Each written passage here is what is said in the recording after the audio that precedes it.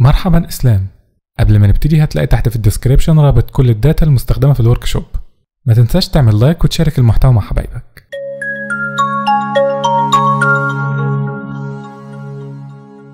أكيد كمان الجزء الخاص بالرصيف عندي مش هيكون solid بالشكل ده كده.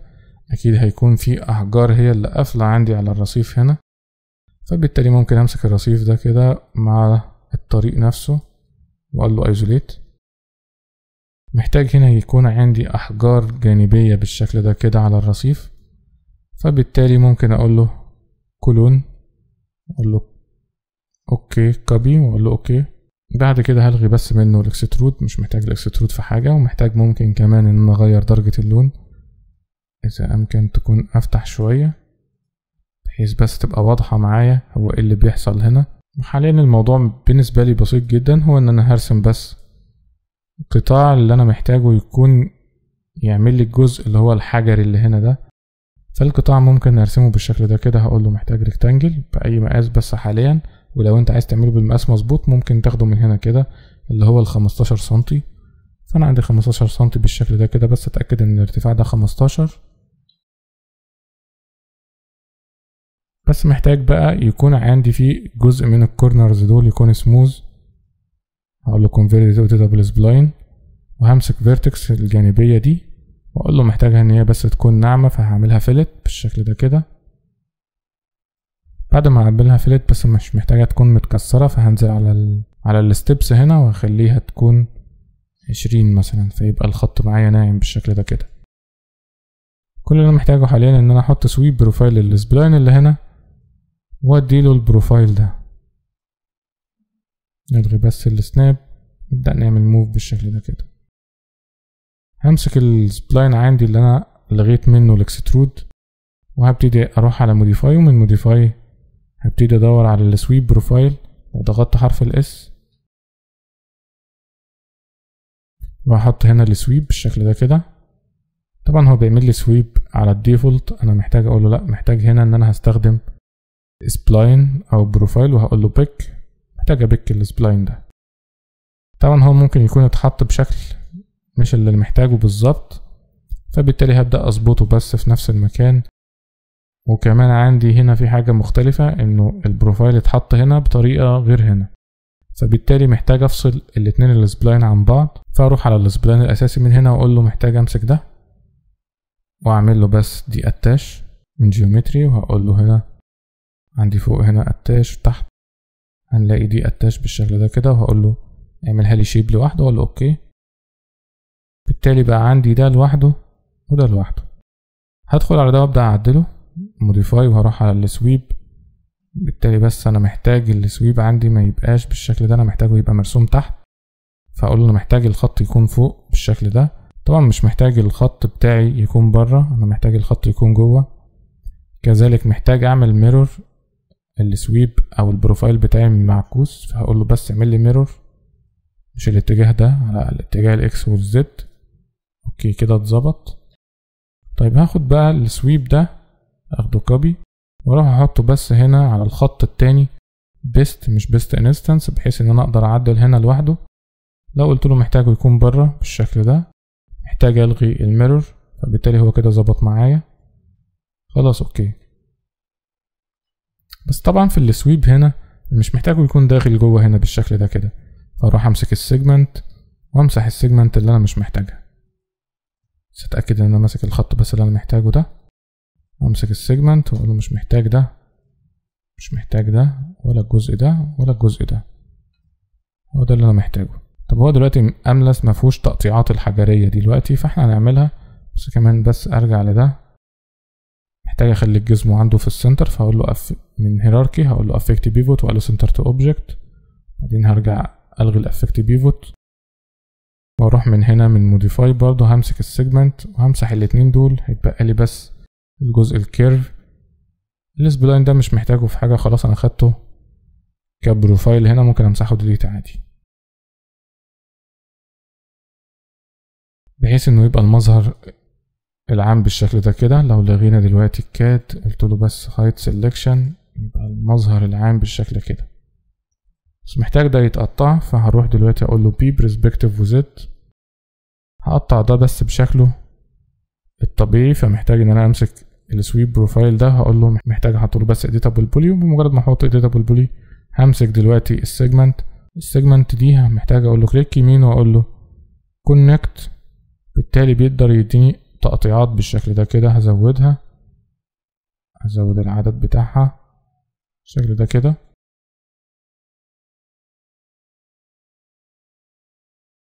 لو انت شايف الأحجام دلوقتي بالنسبة لك مرضية ف okay لو محتاج تقلل شوية ممكن يبقى كويس. ممكن أقول له كده سبعة كويس أقول له okay. ممكن دلوقتي كمان أقول له scale. في ال scale هبدأ أعمل scale لكل الخطوط دي بس في العرض. بالشكل ده كده. بحيث تكون الخطوط بس مستقيمة بدل ما هي كانت مايلة شوية. تبقى جاية مستقيمة كده. لو رجعنا control Z هتلاقيها بتترسم فيها ميل شوية كده. وده بسبب ال corner ده. لأنه كل الخطوط ال segment اللي أنا كنت مسكتها الأول ما كانتش بنفس الطول. فبالتالي لما بيجي يعمل لي connect ات بيبقى بتبقى واخدة زاوية بالشكل ده كده. فأنا بمسك بس ال scale وببدأ أخده بالعرض من هنا كده. واسحب ال scale بالشكل ده كده.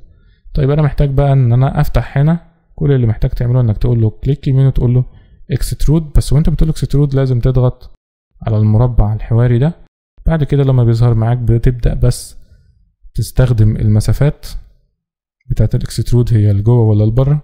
تستخدم المسافة ما بين كل خط والتاني بالشكل ده كده. فلو هنقول مثلا إن المسافة بين كل خط والتاني ممكن تبقى سنتي وتبقى بدل ما كل الخطوط تتعمل extrude لبره لا تبقى لجوه بالشكل ده. أبتدي أشوف الاحجار جنب بعضها بالشكل المنتظم ده. بس بلاش برضو الفرق يبقى كبير سنتي كتير ممكن أخليها نص. يبقى كويس ولا okay. هبتدي كمان بقى إن أنا أكمل هنا المشوار معايا للآخر فوق. فكذلك هبدأ أقطع. ممكن أعمل edit poly تاني بس عشان لو الموضوع حصل فيه مشكلة ألغي ال edit poly على طول. بس خليني بس ألغي select ال edge اللي هنا وأطلع فوق تاني. طبعا أنا كنت عارف منين؟ لأن أنت لما بتعمل select edge من هنا بيبدأ يقول لك إن أنت عامل هنا select على edge ات معينة. هلغيها وبعدين أبتدي بقى أطلع فوق تاني وأمسك ال edge ات اللي هي الأساسية عندي لفوق هنا وأبتدي أشوف هل في حاجة عندي ممكن أقسمها؟ مش محتاج أقسم دي. ولكن محتاج أمسك الخط اللي هنا ده وألغي كل ال segment دول والغي برضو ال select مع ال segment دول وأبدأ أعمل لده extrude. خد بالك لما تعمل extrude هتعمله برضو بنفس المقاس اللي هنا. فده ممكن هيبقى بالسالب لجوه لكن ده هيكون نص سنتي بالشكل ده كده. وأقول له okay. وأبتدي أكمل برضو لو أنا بس عملت select هنا okay. ممكن بقى ألغي دلوقتي. طلعت top. ممكن ألغي ال select عن الأجزاء اللي مش محتاجها. واتأكد إن أنا فعلا لاغي ال select لأن الجزء اللي هعمل عليه select هيعمل لي تشابه. بالشكل ده كده لحد بس ما يكون معايا خط واحد click يمين واقول extrude لو أنا كنت آخر حاجة أعملها فعلا extrude وكاتب الأرقام عندي أقول له بس yes أطلع top تاني وأبتدي برضو أعمل select بس المرة دي ممكن أعمل select على أجزاء كتير بحيث إن أنا محتاج ممكن الخط ده ومحتاج الخط ده فبالتالي همسح اللي في النص.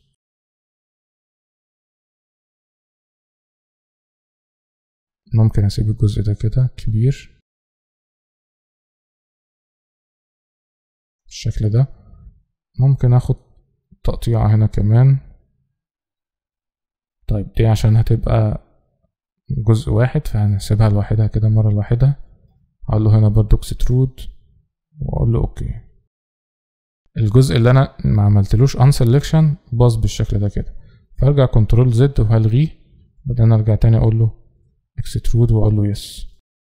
هطلع top ولو انت محتاج تقطع هنا في الجزء ده ممكن أقول له بس الأول connect ولما اعمل connect اخلي ال connect بتاعي واحد مش كتير واقول له okay.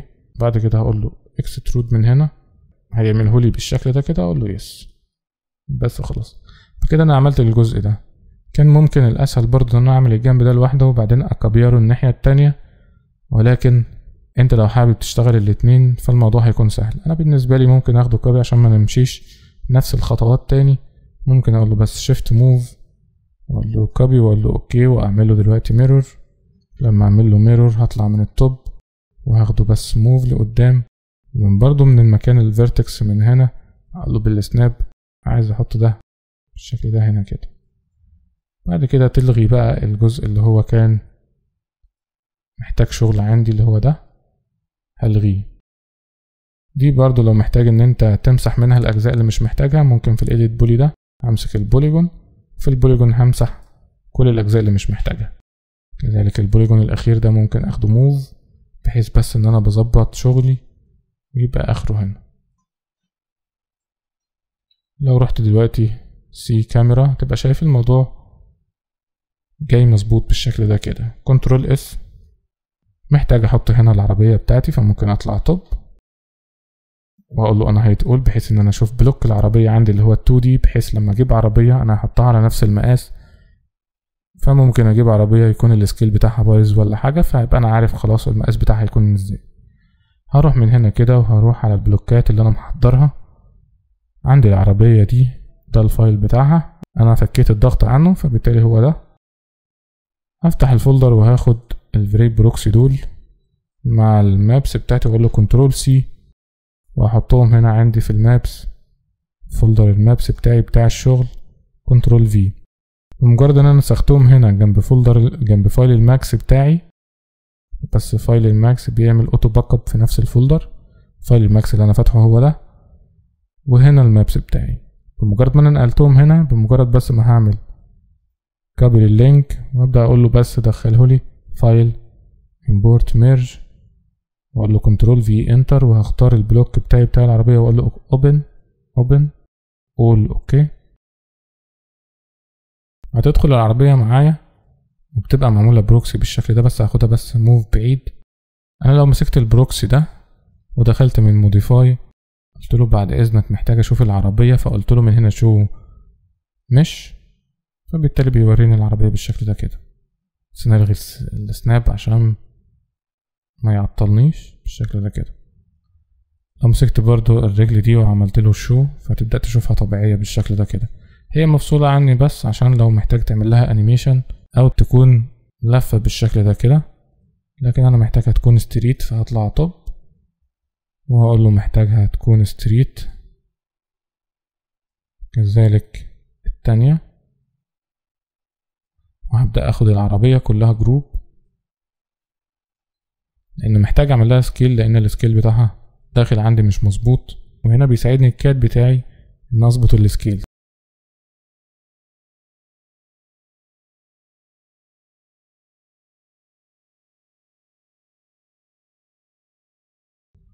وليكن بالشكل ده كده.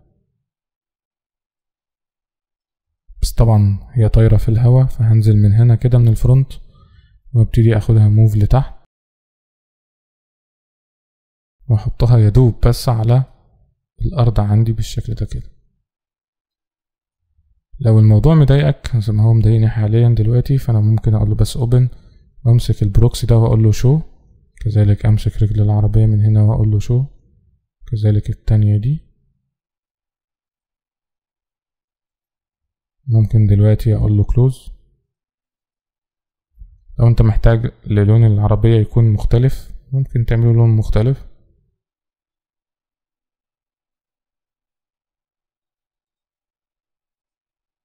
بالشكل ده كده مختلف بس بمعنى إنه يكون مختلف عن ما هو حوله هنا بحيث إن أنا أقدر أعمل سيلكت عليها بسهولة. لو أنت عايزها كمان دي طبيعيا بتكون وشها الاتجاه ده. لكن لو انت عايز تغير وشها محتاج انه يكون الجزء الأمامي هو اللي في الواجهة عندك فممكن تغير بال mirror بالشكل ده كده وتقول له okay. في النهاية ما تنساش تعمل like للفيديو وتنزل تحت في ال description تبص على المصادر وتشوف ال videos اللي فاتت. وتشترك في القناة وتفعل الجرس عشان يوصلك الجديد. شكرا.